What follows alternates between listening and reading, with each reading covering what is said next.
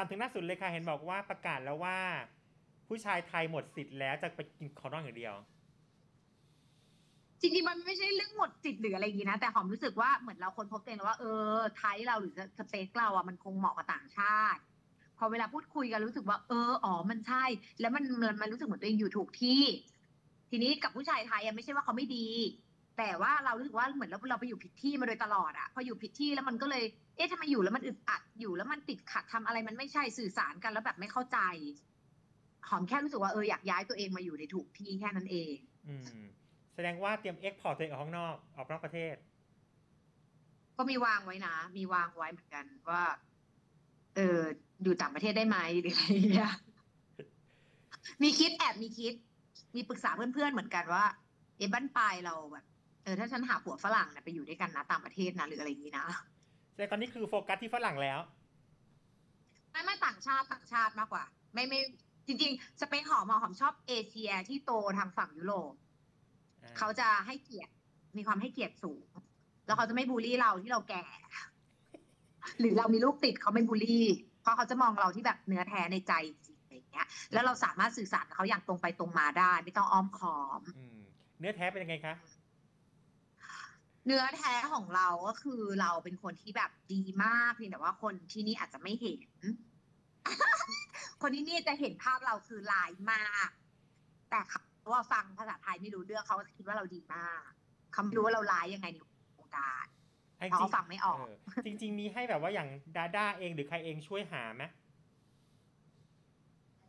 ก็ก็ไม่นะ หอมอีอีด้าลำพังหาก็ยากอยู่นะ มันคงไม่มีเหลือเผื่อแผ่มาหาให้เราหรอก แล้วมันก็รู้ว่าเราเลือกมากด้วยอะไรเงี้ย แล้วตอนนี้เราก็เขาก็ถามเหมือนกัน แล้วหอมก็บอกว่าหอมไม่ได้ไม่ได้หาแล้ว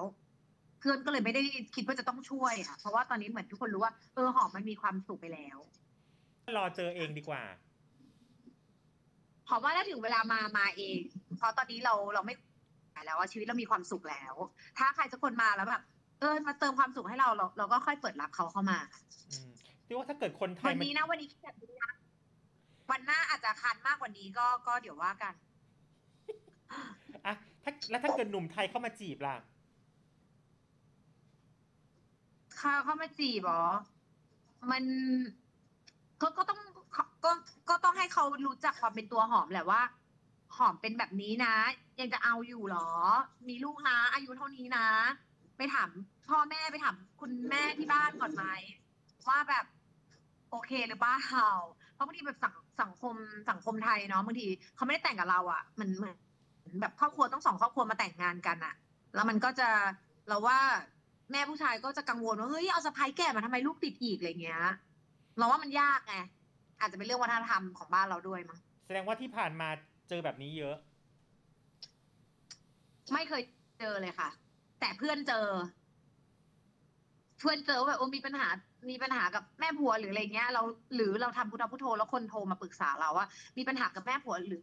ครอบครัวอย่างเงี้ยเราว่าโอ้โหปัญหาพวกนี้มันน่าปวดหัว ถ้าปวดหัวมากไม่มีผัวดีกว่าอืมมันฝังใจ อืมคงคงดูเยอะ คงคงดูเยอะว่าแบบ มันมันมันคงไม่ได้ง่ายเหมือนเหมือนแบบที่ผ่านมาแล้วอะคบใครก็ไม่ได้อยาก ก็มีลูกแล้วด้วย ไม่ได้อยากให้ลูกอะจดจำหน้าผู้ชายของแม่หลาย ๆ หลาย ๆ ครั้ง เรียกว่า ตอนนี้คือโฟกโฟกัสที่ของนอกมากกว่า ของนอกเหรอ อะก็ไปทางนั้นก็ได้ คือมีโอกาสเปิดใจได้ง่ายกว่าติดตามข่าวบันเทิงได้ที่นายตะเทนทุกช่องทาง กดไลค์กดแชร์ด้วยเนาะ